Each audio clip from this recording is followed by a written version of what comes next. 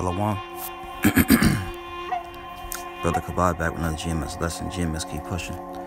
Before I go any further, I want to give all praises, honor, and glory to the Heavenly Father's only begotten Son, Yahawah, Bahasham, Yahawashi, Bahasham, Kakwadash. Double honors to our apostles and elders, a great millstone for teaching us His truth according to the Bible and be well. And El Shalom, the artist and sincere icon for the four corners of the earth, pushing His truth through diligence and sincerity. All right, we're gonna get right on into it, man. Thanks killing. Because that's what this day represents, man. It represents the slaughter, the robbery, the rape of the Gadites, the Reubenites, the so-called Native Americans.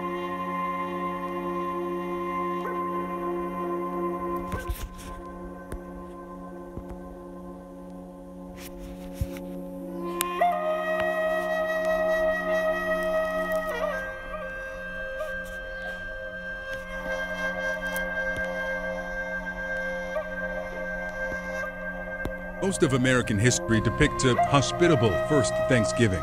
1621 grateful pilgrims in the New World offer a warm invitation to Ousamequin and members of his Wampanoag tribe. But the chairman of the Mashpee Wampanoags calls that depiction a myth. You know, we sent 90 men over to the first settlers to see why they were shooting guns and practicing arms, to say, hey, what are you preparing for? And they were preparing for some kind of war to take our people down. And so we sat down with them to have a discussion and let there led a feast. All my research, I, Some elders say the so-called first Thanksgiving is not worth celebrating. it's the one day out of the year when all of America bows their head and gives thanks for everything that was taken from us. 83-year-old Tall Oaks, Rhode Island home is an archive of Native American history. Amongst the books and pictures and relics is a copy of a 1970 speech written by his late friend Wamsutta. He'd been invited to a celebration of the arrival of the Mayflower. When he had to uh, give the speech, he put it all together, and when he presented it to them, they said that, uh, well, we can't allow you to read that because 90% of the people would walk out. We, the Wampanoag, Wamsutta wrote, welcomed you, the white man, with open arms, little knowing that it was the beginning of the end. He said he wasn't going to change it. Let's grab a few precepts, man. I mean, so many's coming to mind, but you know, this is the, the handiwork of the devil, man. Esau, Edom, the so-called white man. This is this is what he does, man. And you, you, you, you, you Negroes and you Latinos celebrate this day and hold it in high esteem, man. When it was to take down the slaughter of your brothers, the Native Americans, man, and your sisters, man. You know, you should really be ashamed of yourselves. Oh, it's tradition, tradition. Well, that tradition is wicked, man. You know? This is St. John chapter 10, verse 10. This is the thief. Esau Edom is a thief. He stole his land, man. Right? He didn't ask for it. He just took it. Thieves don't ask for anything, they just take it. And that's what he did, man. St. John 10 and 10, the thief cometh not, but for to steal and to kill. You know? Slaughtering the natives in, in, in droves, man. S slaughtering the food source, the bison, man. Who does that? The wicked, the devil, man. And to destroy, destroy the families, giving us smallpox blankets, right? Giving us all types of diseases, uh, the, the cold, all right? It says, I am come that they might have life and that they might have it more abundantly, right? And the Lord came so we could have life, man. But that's the MO of this devil, man. Let's grab another one.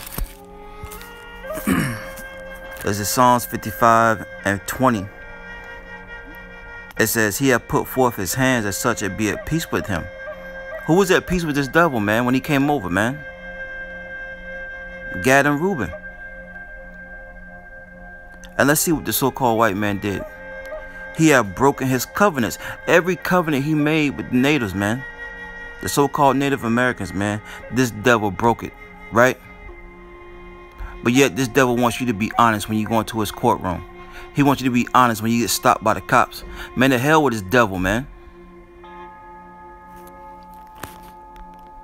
This man has ha, ha, has no type of uh uh uh um decent character in him, man. Decent bone in him, man. Verse 21. The words of his mouth were smoother than butter. You know, and like and, and, and, like the uh, the Gadite said in, in the opening, why are they why are they practicing shooting? You know what I'm saying? Why are they practicing shooting? What what are they getting ready for? You know? And it was to take them over, man. It was to take us over, man.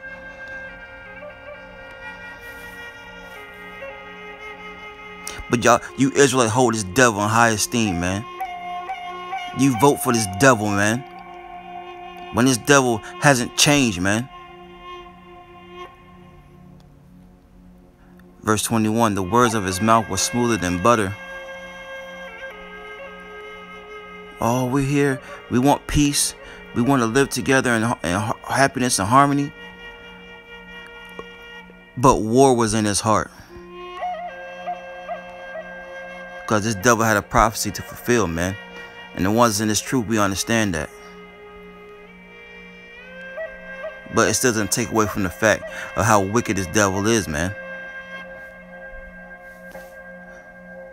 War is in this man's heart, man. What you Israelites don't understand, man. And still is to this very day. Getting ready to vaccine everybody, get ready to uh, uh, microchip everybody, man.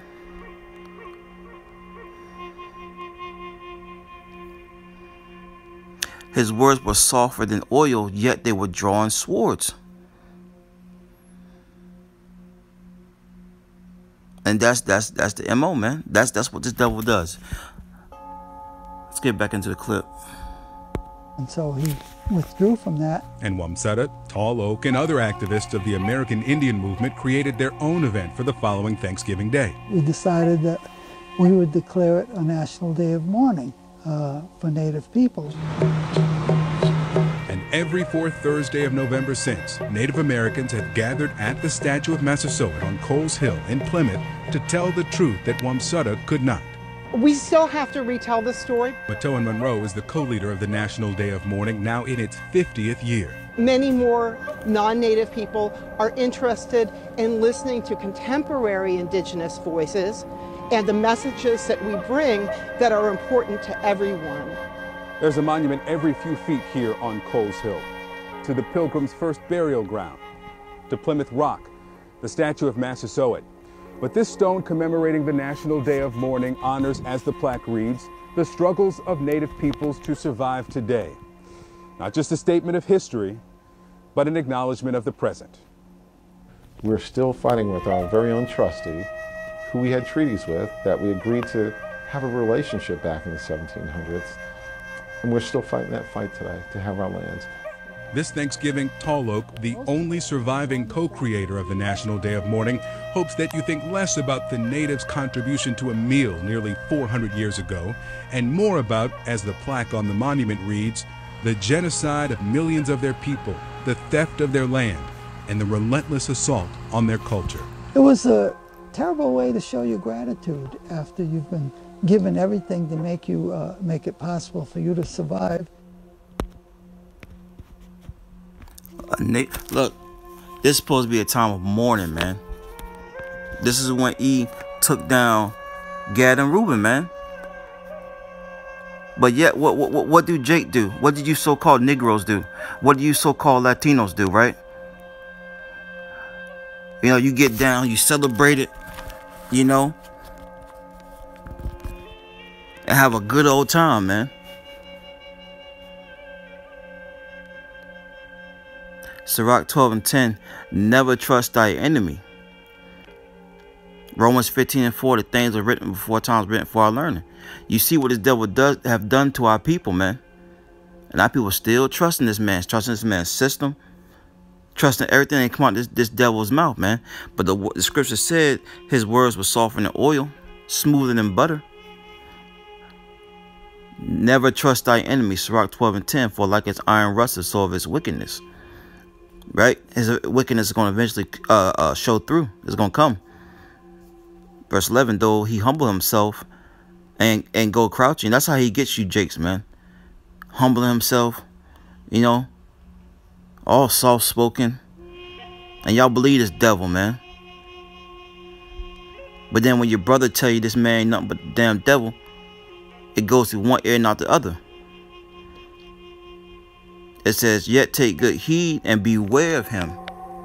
And thou shalt be unto him as if thou hast wiped a looking glass, and thou shalt know that his rust have not been altogether wiped away.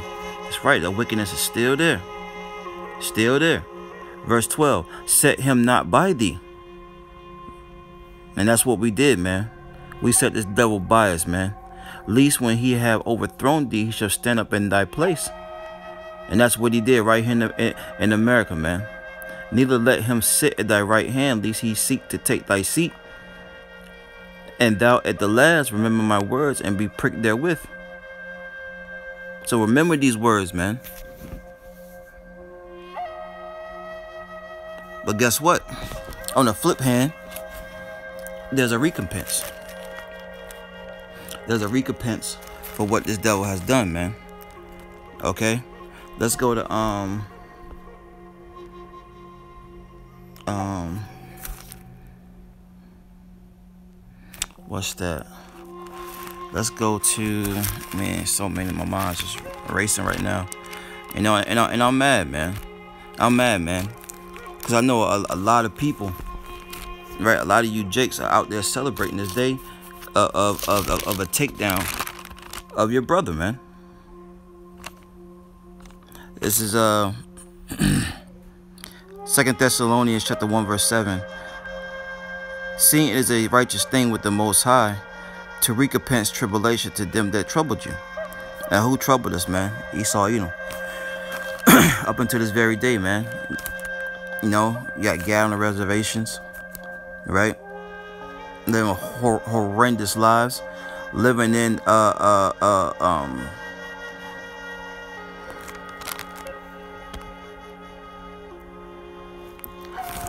living in, in, in, poverty, man.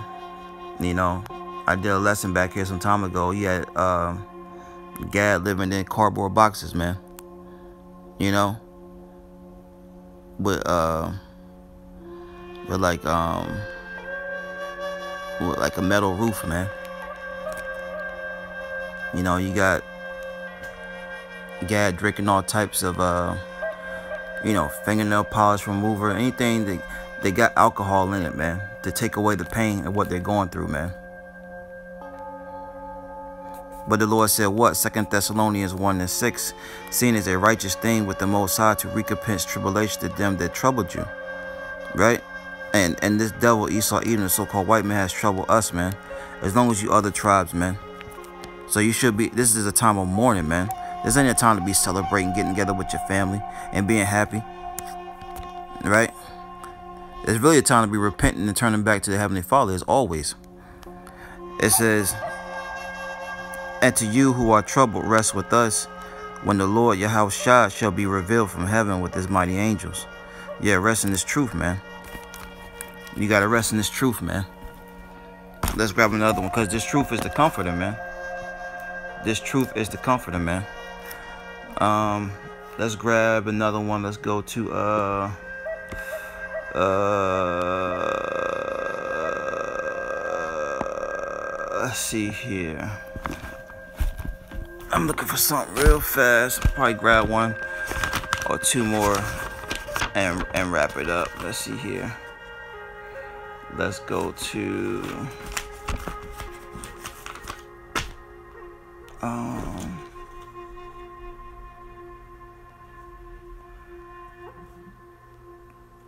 Where's it at? Fuck it, give me one second. Um, okay. Okay, I found it. I found it.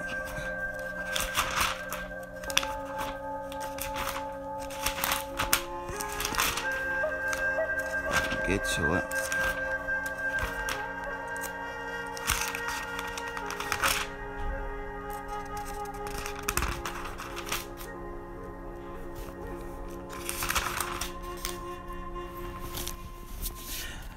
This is a. Uh, Ruth chapter 2, verse 12. The Lord recompense thy work, and a full reward be given to thee of the Lord power of Israel, under those whose wings thou art come to trust. See? So the Lord's gonna recompense thy work, man. As a reward. Be given thee of the Lord power of Israel, under whose wings thou art come to trust. So coming back to the Lord is gonna be a reward, man. But if you're steadily in the ways of this world, the reward for you is death and destruction.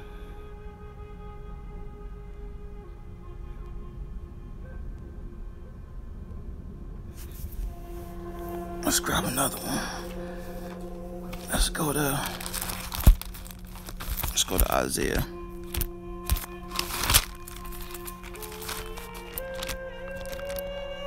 Let's go to Isaiah.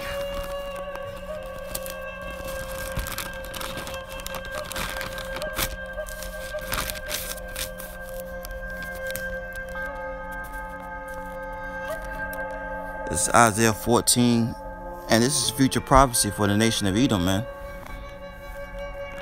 You know, look at the um, if you look at the um, the um, the Bible Compact Dictionary, the Zondervan, go to uh, uh, uh, Esau Edom, right? Look at that name up, and it tells you he is the um, um, he's to receive great future judgment, man.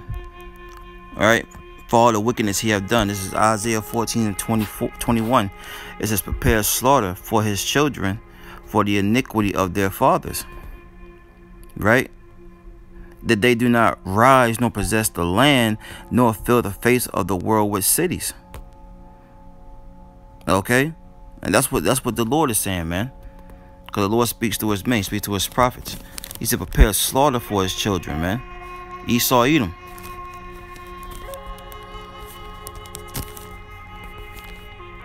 And that's what we waiting on, man. Because he has not been, he has not received his judgment for what he has done to the children of Israel yet, man. For touch, touching the apple of the Lord's eye, man. No more Mount Rushmores. No more cities. No more pipelines. Right? You devils are going to pay, man. You devils are going to pay, man.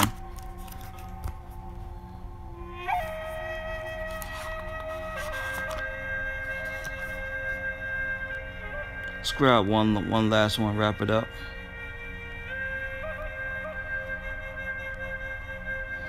Let's go to one last one. Let's go to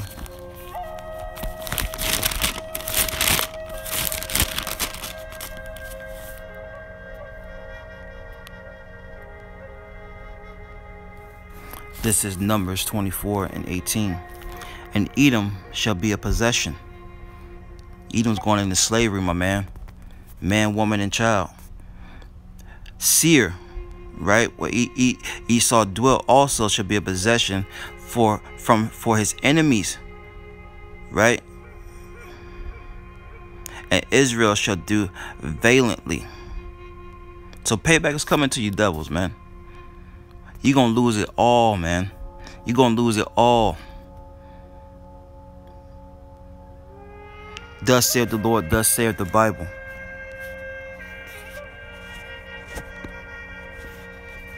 Shalom.